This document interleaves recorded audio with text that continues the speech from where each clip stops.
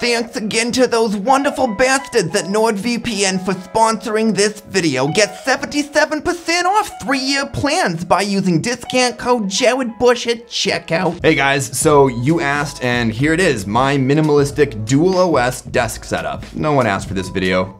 No one. Anyways, the actual desk is made up of three parts. The desk top, which is actually my old desk from a couple years ago that I removed the legs from and then sanded and painted because I thought the color looked like shit. And then I toss it on top of a couple of trestles from Ikea, which I think gives it a bit more class. On top, I've got a really nice leather desk mat. Um, I used to have a slightly longer fabric mat, but it gets gnarly pretty fast with like schmegel and shit all over it, and it's hard to clean, so I kind of splurged, went with the leather mat, which is super easy to clean, really comfortable on the wrists, and looks good and haven't looked back since. Hashtag leather for life, right? That's, that's what the kids say these days. Now on top of that desk mat is currently my favorite keyboard in mouse. The keyboard is the GK64, which I have a video on, I'll link that in the description if you wanted to check it out, but it comes in this gunmetal gray color that goes really well with the other space gray items on the desk. Uh, I've customized it with some Cherry MX RGB brown switches, which feel and sound amazing, and then replace the keycaps with the DSA HC granite keycaps from pimpmykeyboard.com. You gotta love that URL, man. Anyways, I think it looks absolutely baller, and with that keycap and brown switch combination, it sounds awesome and feels like butter. It's just next level. The mouse is the Logitech G703. You might ask why I didn't get the 903 with support for wireless charging.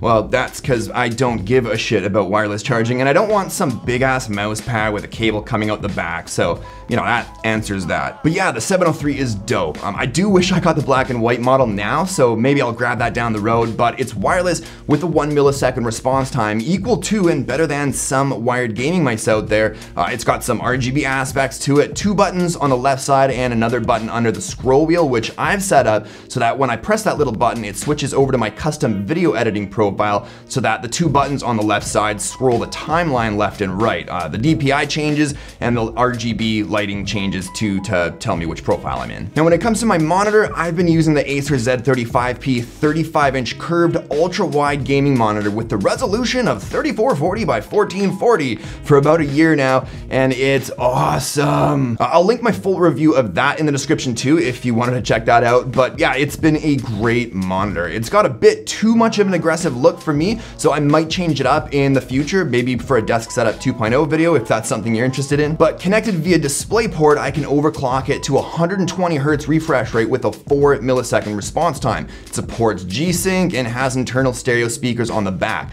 Um, it pivots, it tilts, it does the C-Walk, it's got a bunch of default picture profiles and even some custom user profiles if you want, and it's awesome to game on too. It's just a fantastic monitor. And I have it connected to my eGPU. Now, for those of you that didn't watch my eGPU video, which surprise, surprise, I'll have that linked in the description too, so make sure you check that out. Let me preface this a little for you.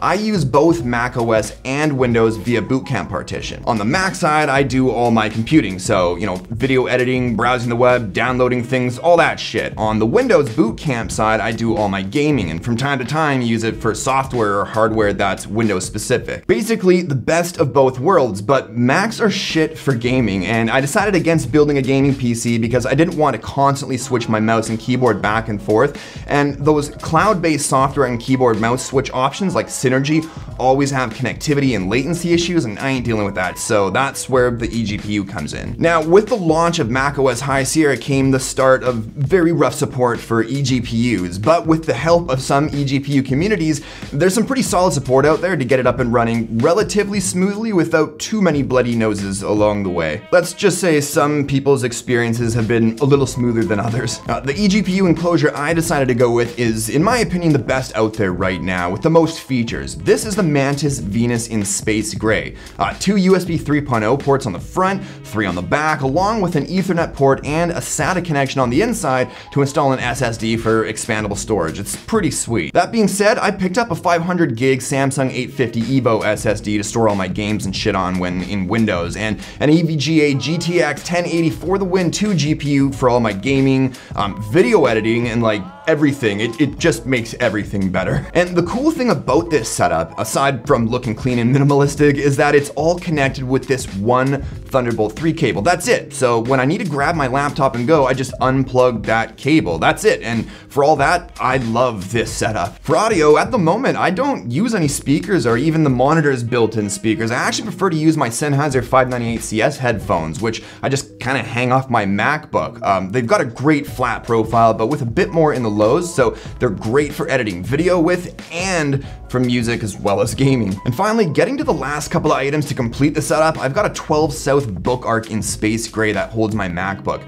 Um, it looks sick, but the price is a total fucking ripoff. It's a curved chunk of metal for 50 bucks, but I mean, I couldn't find any Chinese brand copies in Space Gray, so I just kind of had to suck it up. And then finally, on both sides of the desk is these floor lamps that are made to look like vintage spotlights with barn doors. Um, the stands they come with are pretty shit, if I'm being honest, but the lights themselves look really cool. I have some Philips Hue whites in them, not the RGB versions, but I can change the color temperature, and with the barn doors, it all works together really, really well for videos and gives this nice dark but warm atmosphere, which is sort of my thing. You know what else works really, really well together? Computers, smartphones, and NordVPN. NordVPN is offering a 77% off discount on their three-year plan so that you can browse with complete peace of mind that no one, which includes your pain in the ass boss and nosy roommate, will be able to peek into your shady and questionable browsing habits. But Jared, I don't have anything to hide or care about my privacy. Yeah, yeah, you do. And the protection doesn't stop at just your browsing data. NordVPN also has something called CyberSec security to block pop-up ads, auto-playing videos, and even blocks malicious sites. They even do something called double VPN so that your data gets encrypted twice over for that extra layer of protection. They've got apps for Windows computers, Mac computers, iOS, and Android. Uh, they've got a ton of various server options to choose from on the fly depending on what type of protection you're needing at the time. So go give them a try and use discount code Jared Busch at checkout or visit nordvpn.org slash Jared Busch to get 77% off.